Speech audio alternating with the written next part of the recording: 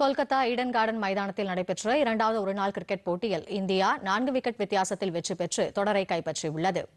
Toss வென்ற இலங்கை அணி முதலில் விளையாடியது. அந்த அணி முப்பத்து ஒன்பது புள்ளி நான்கு ஓவரில் இருநூற்று பதினைந்து ரன்னுக்கு சுருண்டது. அதிகபட்சமாக அந்த அணியின் நுவிடு பெர்னாண்டோ ஐம்பது ரன் எடுத்தார்.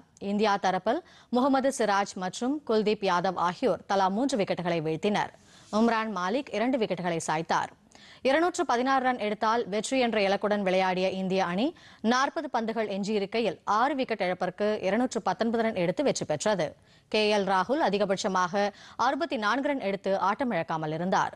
இதுவரை நடைபெற்ற இரண்டு போட்டிகளிலும் இந்தியா வென்றதன் மூலம் மூன்று போட்டிகளை கொண்ட இந்த தொடரை கைப்பற்றியுள்ளது.